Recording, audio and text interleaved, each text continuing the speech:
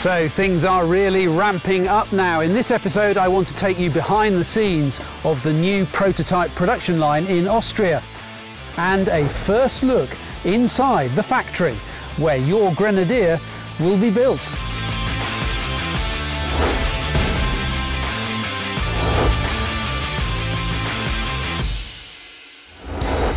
After more than a year testing early development vehicles, they call the 2As, the Grenadier project has reached a major milestone. Ineos Automotive's engineering partner in Austria is now building a fleet of much more advanced next generation prototypes. You guessed it, the 2Bs. Hans Peter Pessler is the engineer in charge. We have around about 250 engineers working on this project, so everybody is pushing forward very hard because it's a big challenge. You've got loads of experience in the automotive industry, building cars for all kinds of big companies. What have been the real challenges that Grenadier's thrown at you?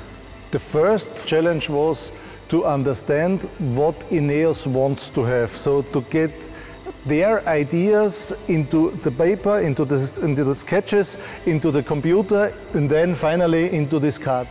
We are very happy that we have these 2A vehicles right now, and the next big phase is the 2B. And how many? Uh, around about, let's say, 80 plus. Welcome to the Grenadier's first small-scale production line. It's been created not just to build the limited run of new prototypes, but also to test and perfect every stage of the process, from start to finish. Experience gained here is helping the team plan the path to mass production. Each Grenadier is built from around 350 individual panels. A complex 3D jigsaw held together by glue and weld. The doors and closures are aluminium. The rest of the body is galvanised steel. The shells are protected with four coats of paint applied in a seven-stage process. Most will be white, black or silver. A few will have contrasting roofs. All the chassis are powder coated white to help detect cracks during testing. Axles and powertrains are supplied pre-assembled. The majority left-hand drive.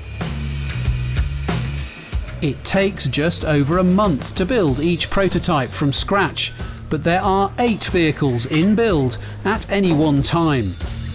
When they leave here, these 2B prototypes will be put through extensive safety and performance testing. Some are destined for high-tech automotive science laboratories. Others will be shipped around the world to see if nature can break them. Lessons will be learned, of course, and the Grenadier will continue to evolve over the coming months. Yes, it definitely looks the part. Now the engineers must prove it can get the job done. Now, as you may know, Ineos Automotive has bought a manufacturing site in Hambach and it will be the home of the Grenadier. So I thought you might like to take a closer look.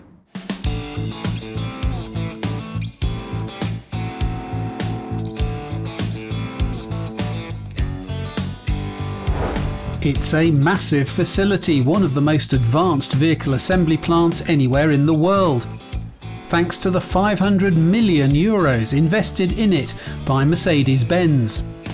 Packed with state-of-the-art technology, it comes with a highly skilled team all trained to Mercedes' exacting standards. The fully fitted factory just needs repurposing and reprogramming to build Grenadiers. And this is the man getting the job done. Obviously, Eric, there's been a lot of discussion about where Grenadier's factory will be. Why did you end up in Hambach? We looked at uh, several sites throughout Europe. And then this was a, a, unique opportunity where Mercedes had a change of strategy that coincided with us looking for a plant. And, and uh, the blessing here was that Mercedes has actually designed this plant for full-size SUVs. So very much a commercial opportunity then that you simply couldn't turn down. It, it, it's not only commercial, I would say, it's, it's a whole package. It's production cost, but it's also, also quality and, and capacity. So what have you actually got to do to get the facility ready for Grenadier? You can say that you have maybe three categories of work that needs to be done there. We have some cells we just need to change some fixtures, need to reprogram the robots and so on. And we have some cells that needs to be rearranged. These are modular cells, so maybe some robot needs to be moved from one place to another. And then you have the third category where we actually tear the whole cell down and then what we do is we rebuild it. And all of that is done in the, in the body shop here behind me. In terms of quality control, what are you doing to make sure that Grenadier is fit for purpose and is going to be built to the reliability and quality standards that we as customers will expect? We have a very advanced, well-equipped quality uh, department here with very experienced former Mercedes quality people. And the focus is really based on the workstation to make sure that before a vehicle goes from one zone to the next zone, that the people that are actually working in that zone ensures that the quality is correct. They don't pass on bad quality to the next station.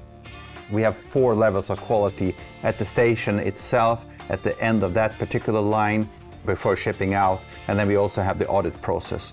So from where you're sitting right now, what are the big challenges coming up? So the next step is you build the 2Bs, which are not kind of production intent material. Just to make sure that the vehicle goes together, you learn how to build the vehicle from that.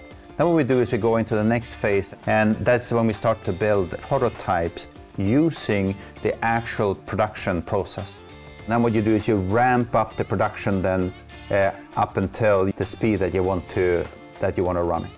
Listen, Eric, thank you very much for your time. Thank you, appreciate it. So, the most advanced Grenadiers yet are now rolling off the prototype assembly line.